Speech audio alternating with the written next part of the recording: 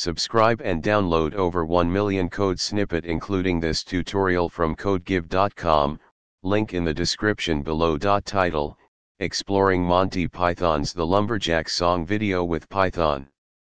Introduction Monty Python's The Lumberjack Song is a classic sketch from the British comedy series Monty Python's Flying Circus.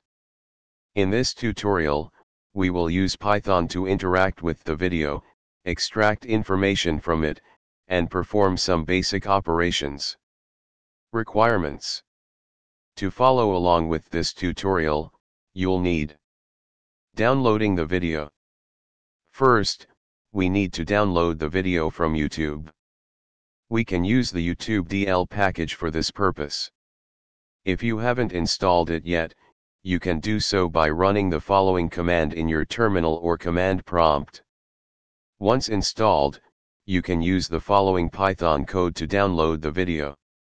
This code snippet will download the video from the specified URL and save it as lumberjack underscore song.mp4 in your current directory. Editing the video. Next, let's perform some basic operations on the video using the MoviePy package. If you haven't installed it yet, you can do so by running the following command.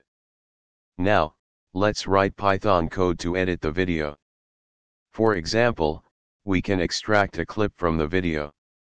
In this code snippet, we loaded the video file lumberjack underscore song.mp4, extracted a clip from 10 to 20 seconds, and saved it as lumberjack underscore clip.mp4 using the H.264 codec.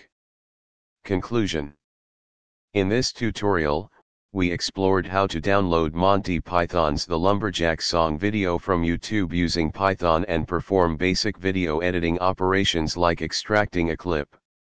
You can further explore the capabilities of the MoviePy package to manipulate videos in Python. ChatGPT